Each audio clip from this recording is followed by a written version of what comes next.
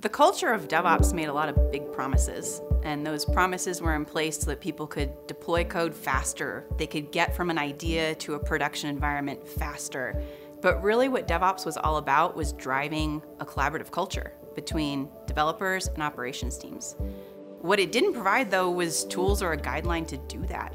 People needed to figure out how to use automation, how to use CI/CD pipelines to make sure that they could build that visibility, that collaboration between the two teams to make sure they could really work forward. So five years later, we've got some great tool sets that support that culture, and one of the newer ones is GitOps.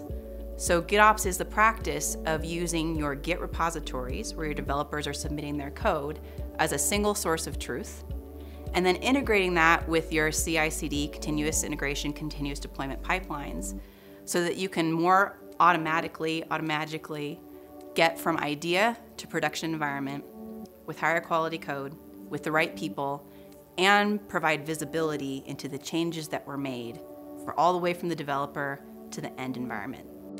With GitOps, like with DevOps, there are a number of tools that you can use. You have your own Git repositories that you like, you can choose what you want, you have a number of CI/CD pipelines that you can use as well. With Red Hat OpenShift, the platform offers two features that can help to support that and further automate and integrate your GitOps practices and your CI/CD tools. The first is OpenShift Pipelines. It's fully integrated into OpenShift. It's supported by Red Hat, so we can help you to put those pipelines in place and make sure that you're going again from idea to production, and then of course giving feedback as well. We also have a feature that's called OpenShift GitOps, and that feature now helps to take the idea of using those Git repositories, integrating fully with that CD part, the continuous deployment part of the pipeline, and making sure that you are deploying to the right environments at the right time.